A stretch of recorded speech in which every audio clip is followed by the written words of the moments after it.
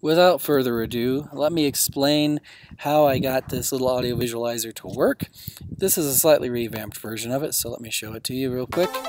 Um, I've got a mouse look script on here. Each one of these poles kind of corresponds with a frequency, bass, mids, and treble.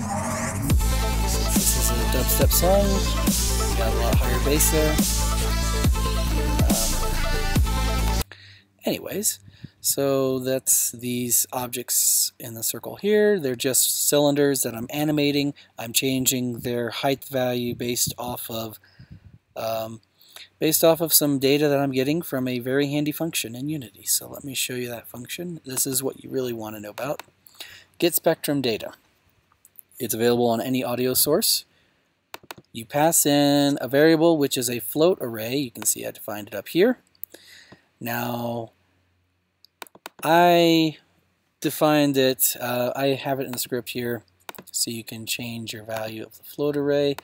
Right now I'm doing 1024 samples. It has to be an even number. That's the only criteria here. So don't go with odd numbers. Try to keep it a small number. Um, the more uh, elements in the array, the more processing power you're going to need.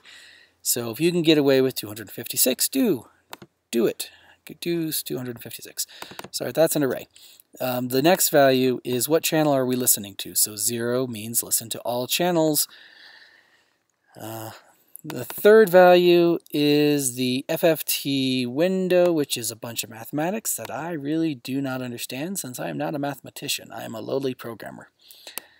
So, and you can see here in the inspector, these are the algorithms or uh, FFT windows that you can choose. I like Blackman Harris, but think of them as ways of rounding uh, groups of audio data. So, like, um, you know, um, you've got 0 to 100 is around your bass ranges, and then you've got your middle and treble. I'm not, I'm not an audiophile either, funny enough, that I made this.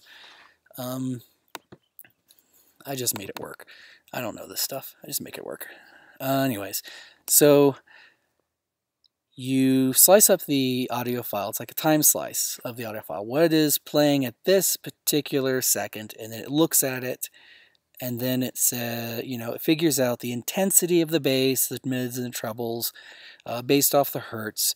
Then it kind of generalizes, and then it's, you know, it finds the median value that corresponds with however many samples you throw in there. So if you tell it two samples, you're going to get high and low, period. And it's going to be the average of all the highs going into the high and all the lows going to the low.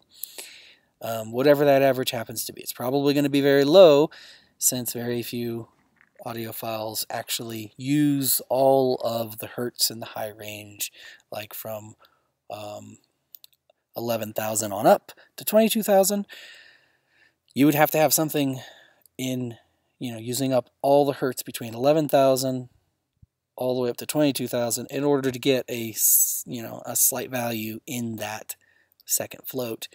Um, but the more samples you break it up, the better. Uh, I got 1024 as my default just because I like the way it looks. Play with it, see what you get. Then I just loop over the objects in my array and I take the value which is kind of the intensity of the sound at you know that float point I mean that float element and then I multiply it by my multiplier just because they're usually pretty small you know Unity likes to go from 0 to 1 um, and you're averaging over a large you know sweep of hertz so you might not have a lot going on in there, so you want to multiply that, make it actually visible. And then I use that intensity to animate the size using the lerp function, um, and then I just put in the new scale. So the real meat and potatoes here is using that get spectrum data. That will return the analysis of the frequency spectrum of your sound file. A really cool trick you could try to do at some point is analyze hertz and you know if you Um, you could put in a number of samples that kind of corresponds to notes, like notes that you sing or play on a piano. And then you would just loop through the array and say which array element has the highest intensity, figure out which element does that correspond to with a note on a scale, and then you could say with pretty good certainty, and I've done this before in another program, you can say with pretty good certainty what note is being played or sung. And you can also, um, obviously, because audio source could be a microphone, use it to listen to a room and pick up that sort of stuff. Fun things you can do with that, so explore it. There is a documentation on Unity about it. Um, it's not particularly helpful, other than giving you sort of rules like, oh, well, okay, so you could not pass in a minimum float of 2. It's got to be 64 at the very least. Um, and then a max of 8,192. They do have to be a power of 2 and fun little rules like that. I hope that you guys find this somewhat helpful and it gets you started on your own projects.